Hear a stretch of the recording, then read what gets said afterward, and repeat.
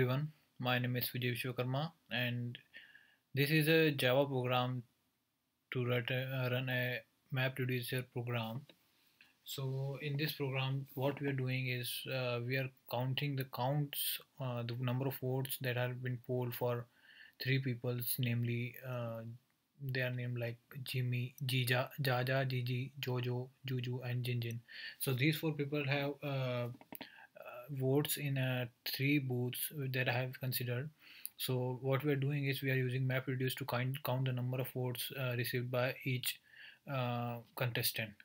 So for that uh, we have written uh, a mapper program, a reducer program and a, an application program. So what the mapper does is, uh, so to explain it easily I will switch to a image that shows how it works. So we get inputs in the form of uh, the names of the contestant that is Jimmy, uh, uh, Jenny, Jerry in this case but in our case it's Gigi, Joju, JJ so uh, the mapper converts uh, this uh, file into a file which contains key as the name of the person and value as the mm, number of time it occurs in the file. So this is the main function of the mapper function. So here mapper function is doing the same. It converts the uh, key value uh, it converts the file into a key value uh, pair which consists of a key as the name of the contestant and value is the number of time it occurs in the file. So uh, after the mapper has done its work the reducer uh, does it work. The reducer what it does is it just add adds up the uh, number of votes for each contestant and uh, add up the votes and it thus it gives a result of total number of votes that are available for any person. So to run this program first we need uh, uh, three files which contains the um, count of votes. For the for that purpose I have created a, a Python program which uh, writes uh, which writes a co uh, code uh, which creates three files which contains randomly arranged uh, file randomly arranged name of the uh, contestants DG, Juju, Jaja, Jojo and Jinjin. So this is the program how it looks like and when I run this pro program we get three files which contains the list of all the votes. So these three files we are going to use.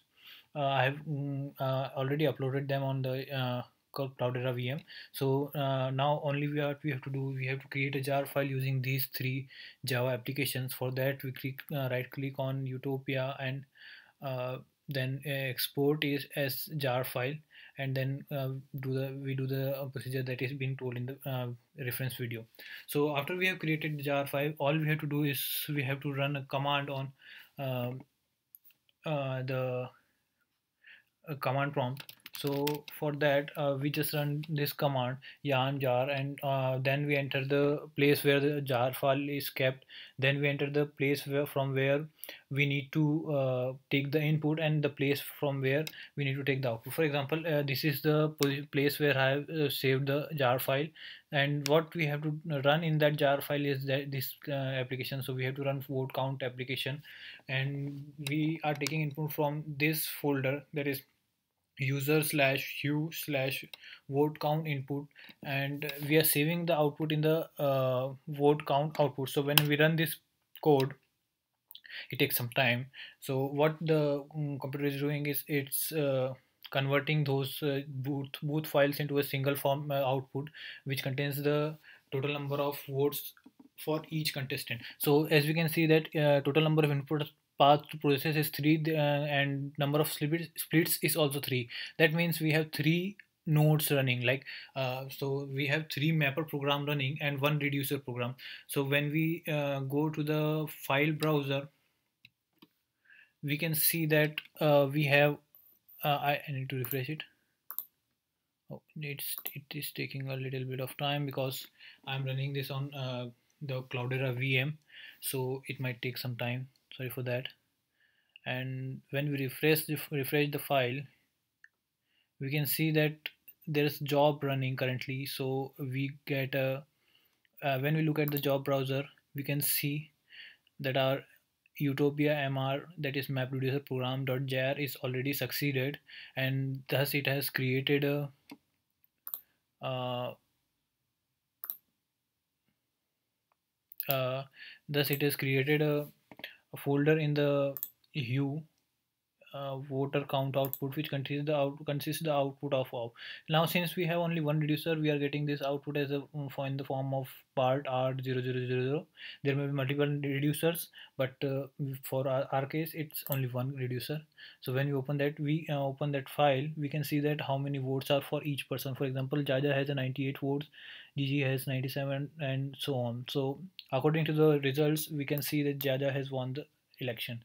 Now this is how we run the MapReducer program in java. And uh, i would be very i was i'm very thankful to professor datta and uh, the ta to give us a chance to do this program. Uh, thank you very much. I hope this is useful for this will be useful for me in the coming